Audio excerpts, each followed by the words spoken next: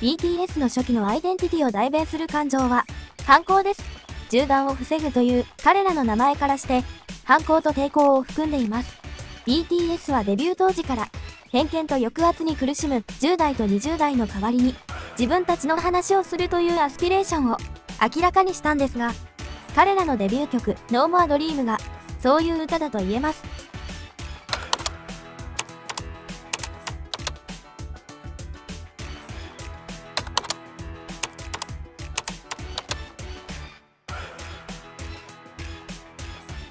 当時 BTS のメンバーたちは卒業したばかりだったとか、まだ学生の身分だったので、大学入試に重点を置いた教育問題を歌に盛り込むのは、とても自然なことでした。彼らは大人たちが強要する価値に反旗を翻し、そのような教育に押さえつけられた、弱い友達に向かって怒鳴ります。他人の人生を生きないで、自ら自分の夢を探せ、と、これ以上グズグズしていてはいけないよ、って、BTS は続いて発表した。O、RUL アルバムで、批判のレベルをさらに高めています。人でなしな競争と歪んだ教育観を批判し、大人たちを恨んだりします。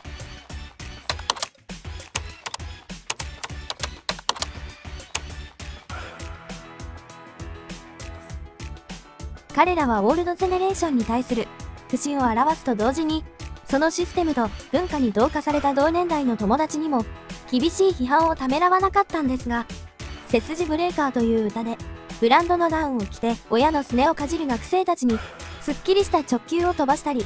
携帯電話を切ってくれる。では、スマホだけに夢中になる最近の世相を、起点を聞かせて風刺したりもします。いつからか不便なことを不便だと、違うことは違うということさえ、ためらう世の中になりました。BTS は Am I Wrong という曲で、目と耳を塞いで利己的に生きる人々と、非常識な社会に対するもどかしさを吐いています。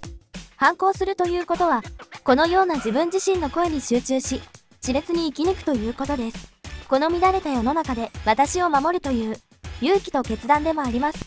彼らの歌がまた尋ねています。